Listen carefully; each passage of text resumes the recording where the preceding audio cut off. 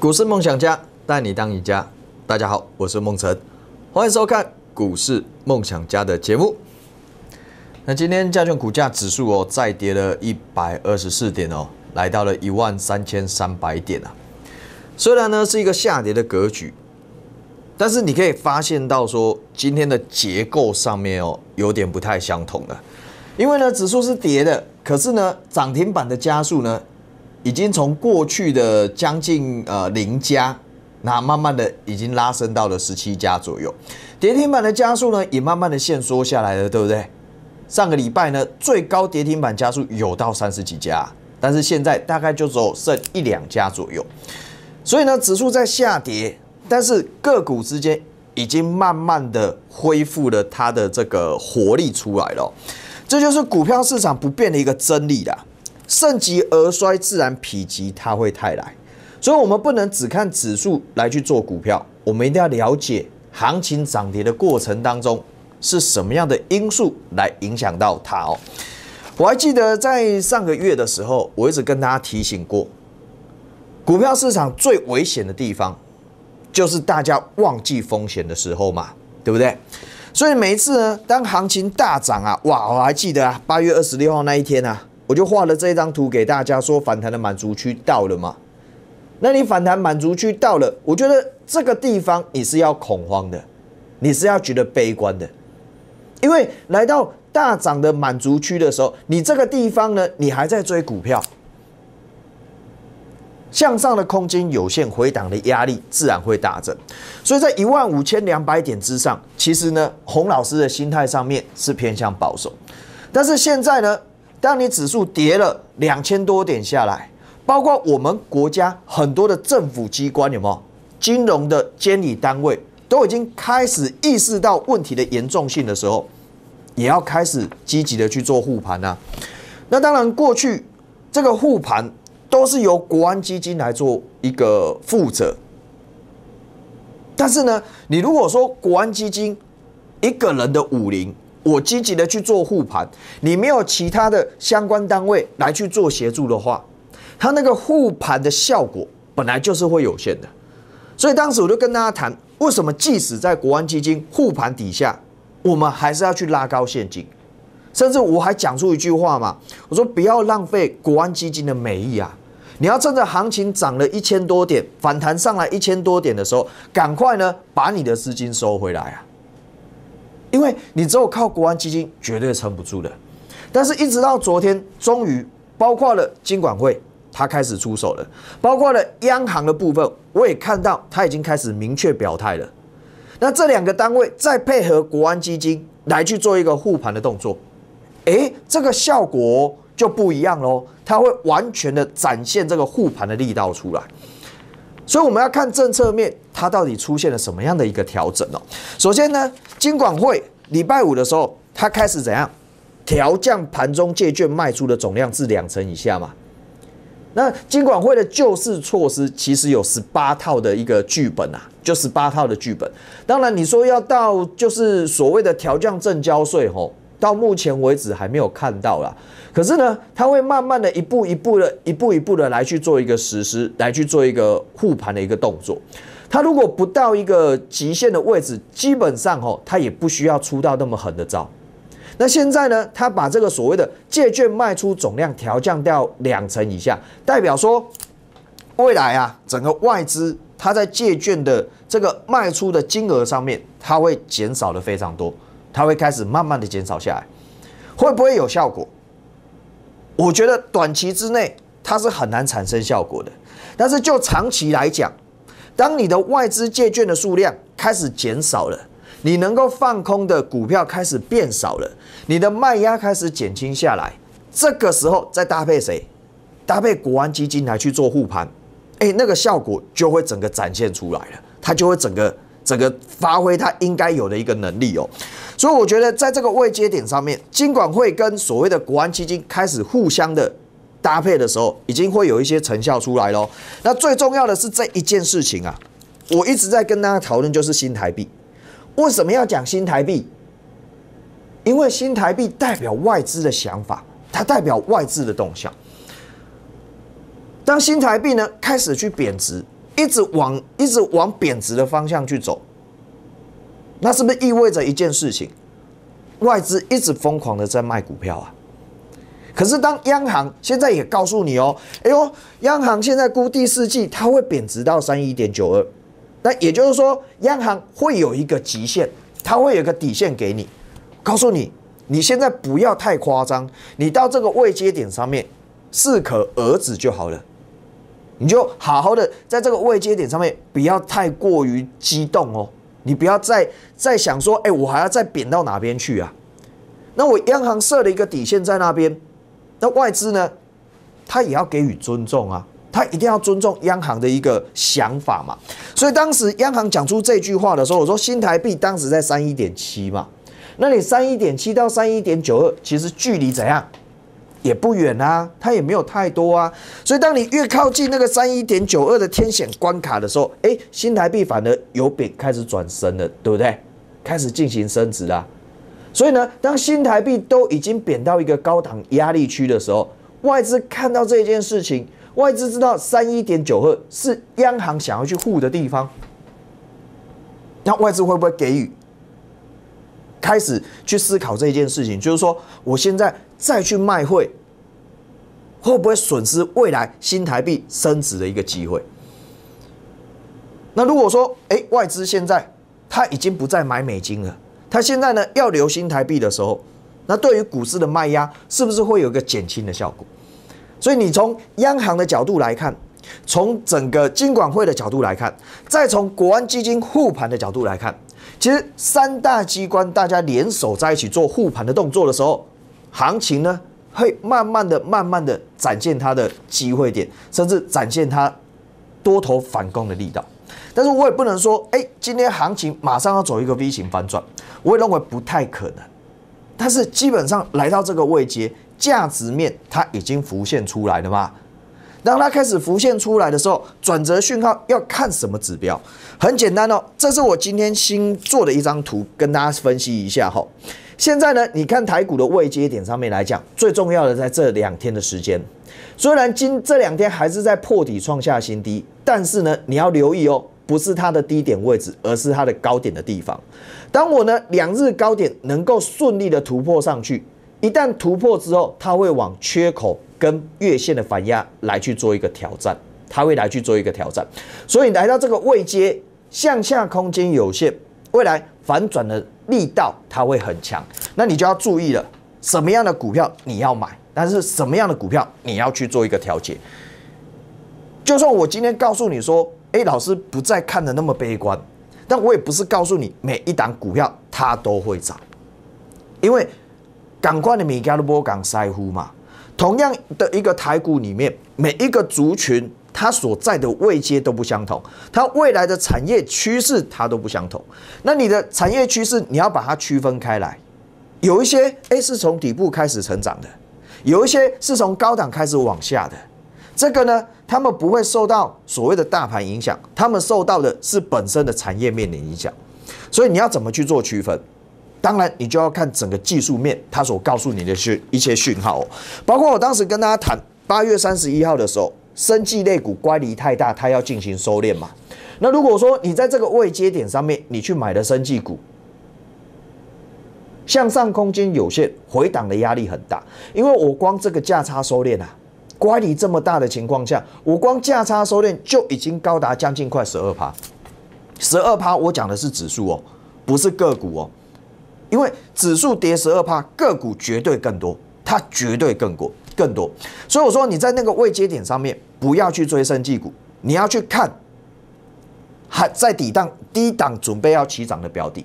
所以当升绩族群有压力，我们要一定要闪开，对不对？后面也验证了洪老师的看法，乖离太大，开始进行收敛。收敛完之后，我说最后的你的最后卖点在哪里？反弹上来的反弹压力区嘛。当你反弹压力区一旦到了，你这个地方不出，那拍谁哦？后面的空间我真的没有办法去算，我真的没有办法去帮你抓。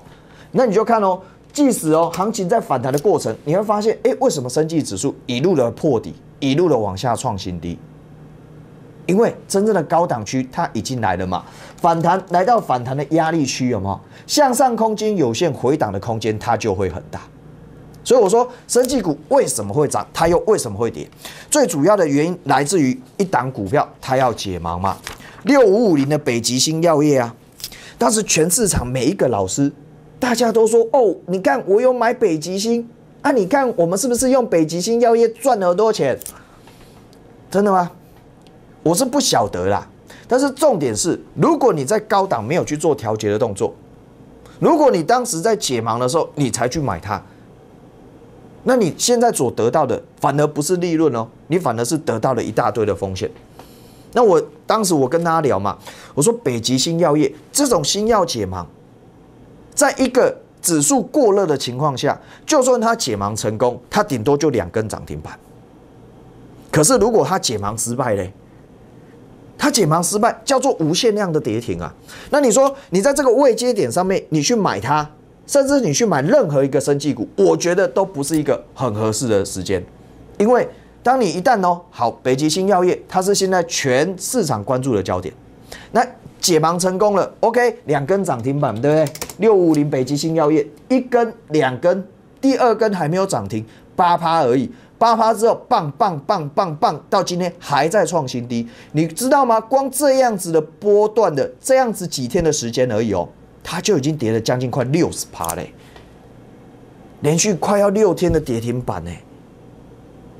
那我回过头去想，我说好，现在呢，生技类股的最重要的一颗明日之星，它都已经走弱了，那你更不用想说其他的标的它会好到哪里去，因为军心涣散了嘛，因为整个族群都已经乱掉了。当你乱掉的时候，你你这些所谓的生技族群以前怎么上去的？未来呢，它就要怎么回来啊？这就是乖离太大的一个问题嘛。所以你可以发现到说，包括今天有没有跌幅最重的，像合一啊，你的老师现在也不敢讲了，对不对？为什么不讲了？因为它跌了嘛。中天呢，今天呢也是一样啊，四一二八中天今天也跌了将近快六趴。那四一六二的事情呢？哇，今天盘中差一点点要来到跌停板呢，创新低了，有没有？所以我说。买股票，你要懂得风险跟利润之间的平衡嘛。当你知道说，哦，就整个指数的角度而言，它就已经过热了。那我现在连指数它都要翻为空方，你在那个位阶点上面，你的老师叫你去买这些，那你的风险要自己担啊。他可以不再讲这些股票哦，他可以换其他的股票来讲。但是你的股票呢，是不是都卡在这里了？你的老师在叫新的，没有钱买了。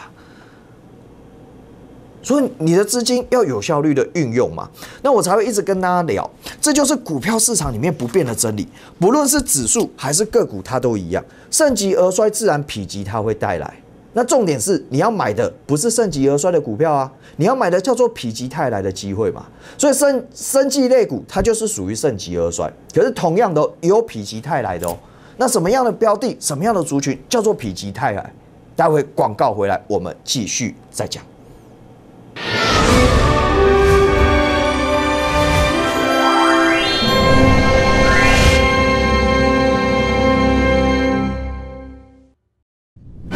陈东总部三大保证：第一，保证正派经营，绝不和公司派大股东主力做手，勾结坑杀散户；第二，保证诚信为本，以绩效诚信为公司营运主轴。第三保证带进一定带出，精选持股，持股集中，保证带进一定带出。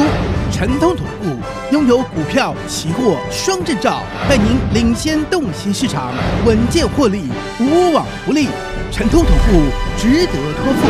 零二二七五二五八六八二七五二五八六八。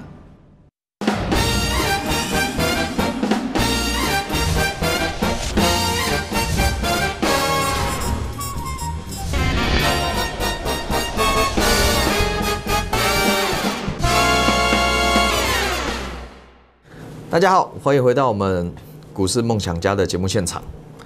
那刚跟大家聊，就是说，就指数的角度而言，它未来如果突破两日高点，它是有机会去挑战所谓的缺口压力跟月线的反压。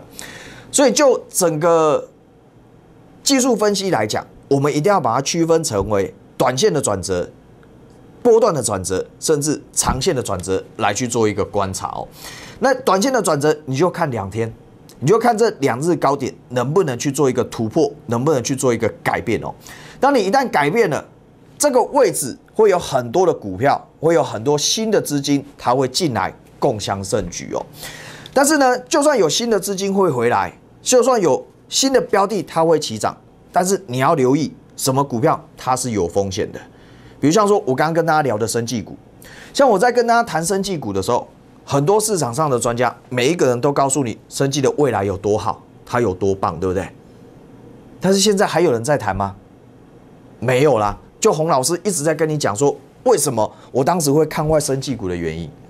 我希望说，你们可以从这些节目当中，从我所分析的内容当中，去学习一些保护自己的方法。因为只有保护自己，你才能在股票市场里面长长久久，而且取得一个长期稳健的报酬率哦。看得更宽，想得更远，你才会得到的更多，你才会得到的更多。所以，同样的，既然股票市场它就是一个循环，盛极而衰，否极自然会有泰来。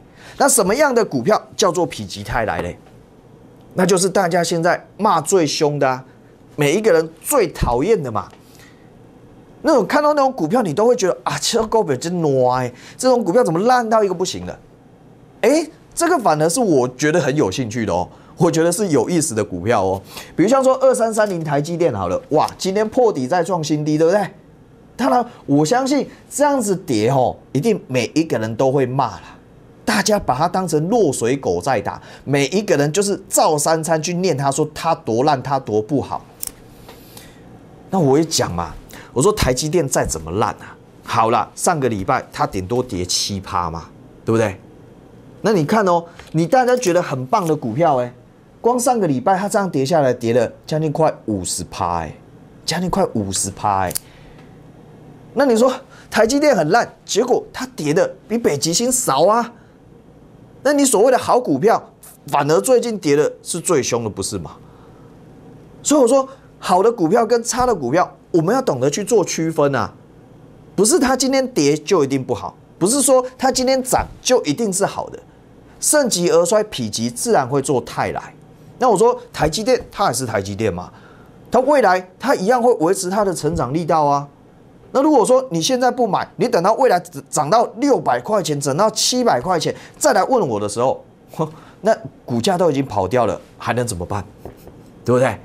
低的时候不敢买，高的才想去追啊！很多投资朋友都是追在那个六百多块钱的位置，现在才会塔卡莫的修嘛，现在才有问题发生嘛。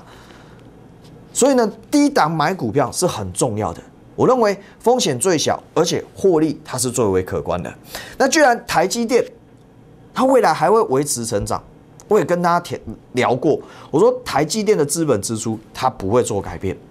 简单来说，因为台积电呢未来有一个很重要很重要的产业，它会使用大量的晶片，这个产业叫做汽车，所谓的汽车半导体的工业。那以前呢车用。它是属于那种机械化的产品，所以里面用到高科技的材料是非常非常非常少的。但是这两年开始出现一个改变，因为很多的车子都往电动车走啊，都往自驾车去发展啊，甚至智能车也越来越多了嘛。所以一台车子里面，它半导体所占的成本。已经越来越高，甚至呢每年都以十趴的速度往上去做增长。所以呢，在这个所谓的半导体国际论坛的时候，有一位这个是呃半导这个台积电的这个车用及晶片专的这个处长，他讲过一句话，他说未来的车用市场可以从二零二一年的四百一十亿元，成长至二零二六年的八百五十亿元，也就是说成长一倍有余嘛，成长一倍哦。年复合成长率十六趴，台积电内部预估什么？二零三零年可以达到一千三百五十亿美金，而且这个市场规模会远远超于谁？超过智慧型手机。所以原本的市场叫做智慧型手机，它所用的所用的这些晶片数量是最大的。可是未来呢？未来的市场叫做什么？叫做车用电子的市场啊。那你车用电子市场一旦开始蓬勃发展起来，你想想看哦，从原本的四百亿元成长到一千三百多亿，哎，那个规模啊，等于说我原本只有多少钱？四四四百多亿，成长了整成长了三倍多，哎，那你成长三倍多，你不从今年开始去建产能，你要等什么时候？一定从现在开始做嘛。所以我说，台积电的资本支出它是不可能改变的啦。甚至呢，明年还会持续的超过四百亿元美金嘛？那你四百亿元美金，嘿，很多的厂商，本土的厂商，他会因此而吃香喝辣嘛？所以包括了我之前跟大家聊过的三六八零的嘉登啊，UV 光照和出货非常的强啊。那你说，嘉登最近大盘跌成这样啊，它又怎么样吗？它不就在月线附近做震荡整理，量缩回档，未来会怎么样？继续涨啊！它会继续涨啊！那包括呢，六四三八的迅德自动化机台设备厂商，嘉登跟迅德合作，未来要抢攻台积电未来所有自动化设备的商机嘛？UV 的光照储存盒都是自动化的，它未来要做这个所谓的光照储存盒的储存装置，要跟迅德合作。那你觉得呢？以它今年的获利来讲，去年的获利来说，哎，一年赚了十块钱呢。上半年赚了将近快五块，八月营收创新高，哎，那你不觉得这种公司它叫做低估吗？股价呢八十几块钱，太便宜了吧？量缩回来，资金呢它也没有离开啊，原本这些大量去买的人他也没有走嘛。那我之前跟大家聊过啊，我曾经在这个地方，我们先获利了结一趟，我拉回，我要再下去做布局，因为太便宜了。真的太便宜了，甚至呢，华景电的部分，台积电微污染防治设备，未来三纳米一定会用到的东西，金牛比从四百跳升到两百，有人偷买，对不对？有人偷买就变怎样？创新高上来啦。那这种股票，哎，大盘是这样走，哦，然后呢，华景电是这样上去哦，甚至大盘都破线破到哪里去了？它的月线还是上扬的，谁在偷买？谁完全不会害怕行情的下跌？谁完全不会害怕指数的下跌？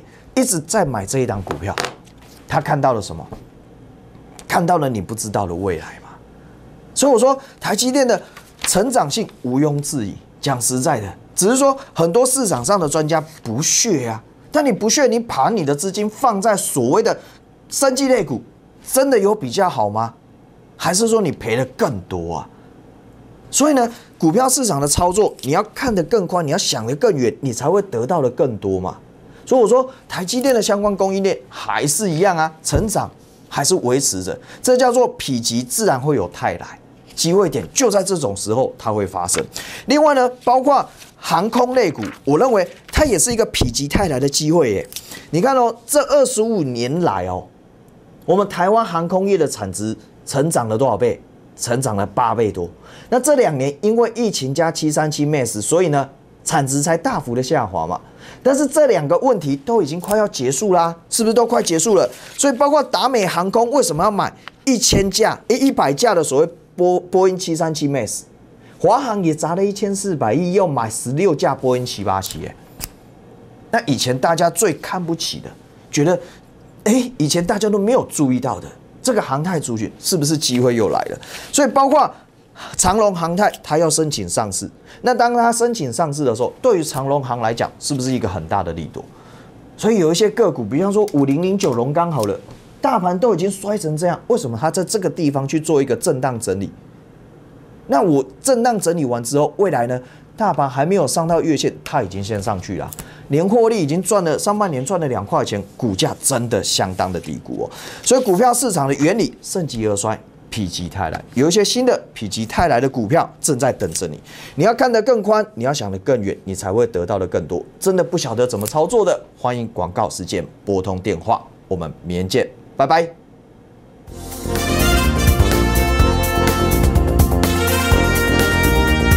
本投资公司与所推荐分期之客也有大证券无不当之财务利益关系，以往之绩效不保证未来获利。本节目资料仅供参考，投资人应独立判断、审慎评估并自负投资风险。